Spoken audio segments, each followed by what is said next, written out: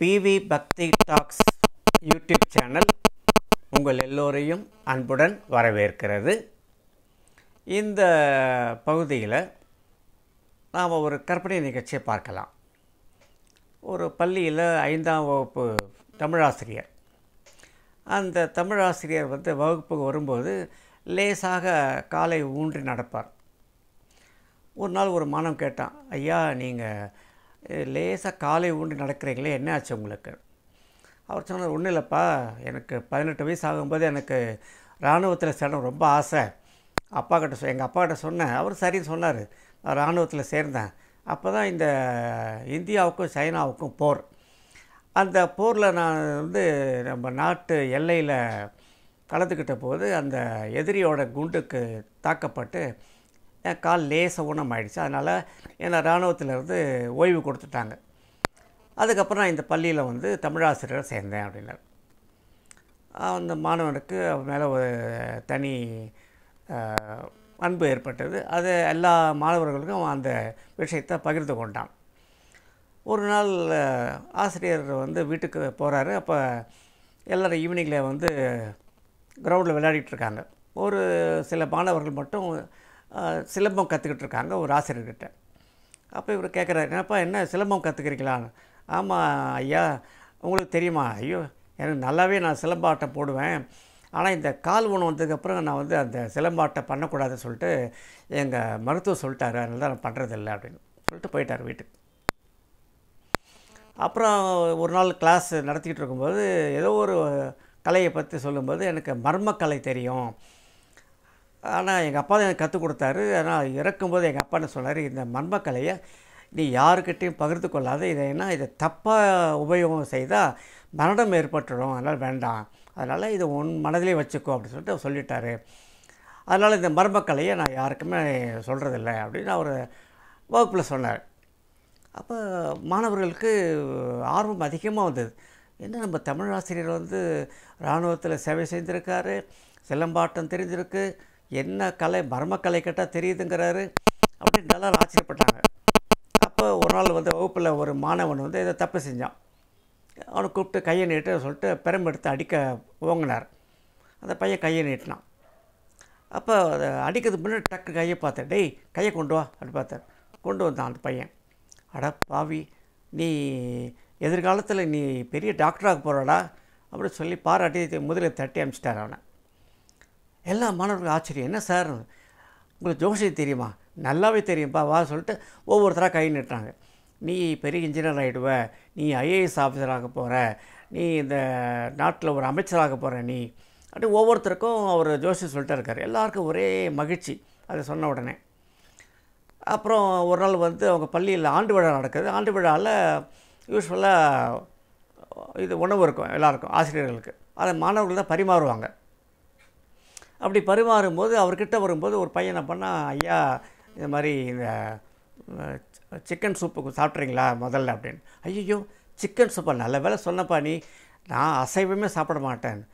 அவன் கேட்குறேன் என்ன ஐயா ஏன் சாப்பிட மாட்டீங்க?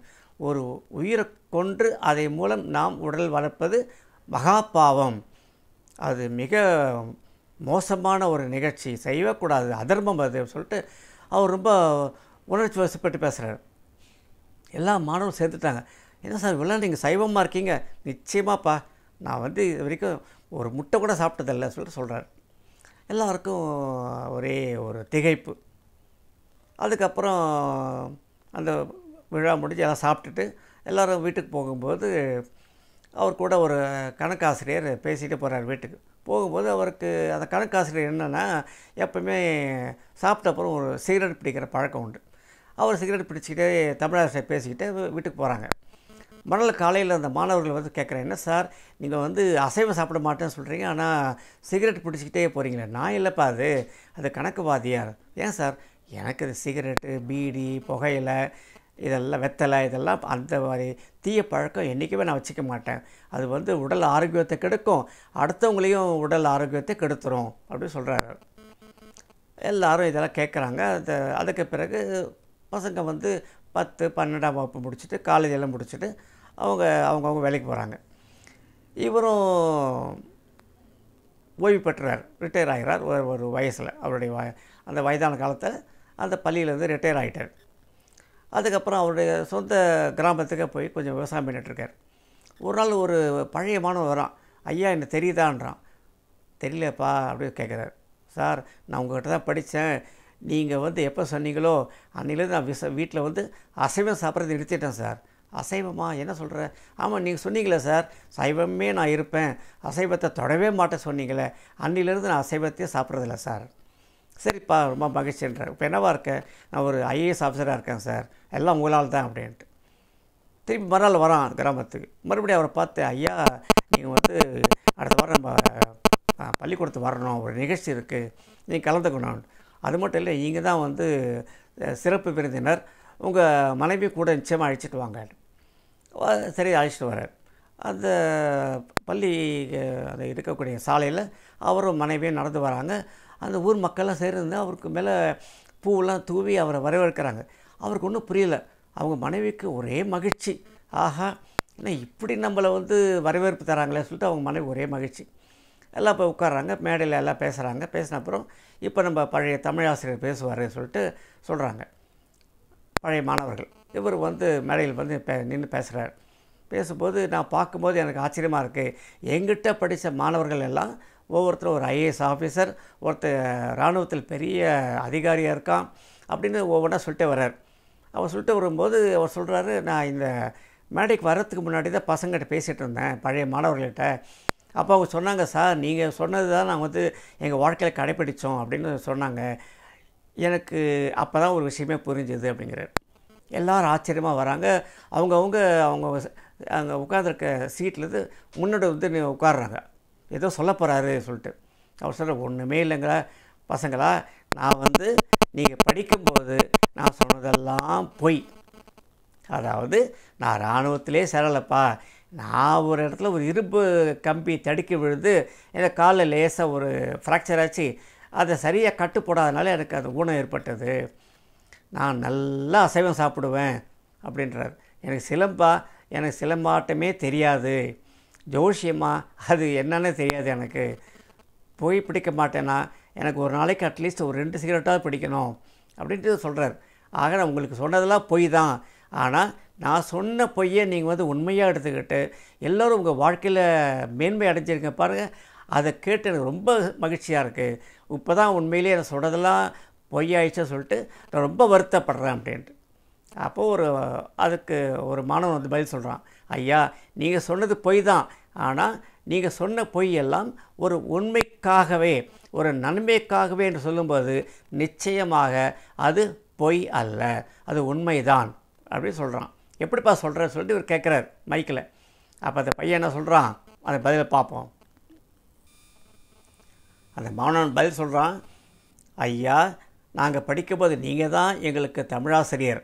அதில் திருக்குறள் வரும்போது அத்தியாயம் முப்பது குறள் இரநூத்தி தொண்ணூற்றி இரண்டு வாய்மை. அந்த அத்தியாயத்தில் இருக்கக்கூடிய அந்த முக்கியமான திருக்குறள் என்னன்னாக்கா பொய்மையும் வாய்மையிடத்த புரைநீ தீர்ந்த நன்மை பயக்கும் எனின். அதாவது பொய் பொய்மையும் வாய்மை இடத்த புரை தீர்ந்த நன்மை பயக்கும் எனின். இதற்கென்ன விளக்க உரை? குற்றமற்ற நன்மையை தரும் என்றால் உண்மை சொல்ல வேண்டிய இடத்தில் பொய்யும் சொல்லலாம். இந்த திருக்குறளுக்கு எடுத்துக்காட்டு நீங்கள் தான் அதாவது நீங்கள் சொன்னதெல்லாம் பொய். இருந்தாலும் அதனால் எந்தவித குற்றமும் ஏற்படவில்லை. அதற்கு மாறாக நன்மையே ஏற்பட்டது. எங்கள் வாழ்க்கையெல்லாம் மேன்மையடைந்தது. ஐயா உங்களுக்கு எங்களது வணக்கம் சொல்லிட்டு அது பையன் முடிக்கிறான். அதை கேட்டதும் அந்த ஆசிரியருக்கு உடம்பெல்லாம் புல்லரிச்சுது. அது மட்டுமல்ல எல்லா பழைய மாணவர்களும் சேர்ந்து ஒரு அழகான சிறிய வீடு அந்த கிராமத்தில் கட்டி அவரை வரவேற்று அவருக்கு அந்த வீடை பரிசாக தந்தார்கள். இதுதான் இந்த ஒரு கற்பனை நிகழ்ச்சி. இருந்தாலும் நாம் தெரிந்து கொள்ள வேண்டியது என்ன என்றால் நாம் ஏதாவது ஒரு பொய்யை சொன்னாலும் அந்த பொய்யால் ஒரு நன்மை ஏற்பட்டால் அது நிச்சயமாக அது பொய்யல்ல அது உண்மையே என்பதை இது எடுத்து காட்டுகிறது. ஏன் நாம் இதை வாழ்க்கையில் கடைபிடிக்கக்கூடாது மேற்கொண்டு பார்ப்போம். வணக்கம்.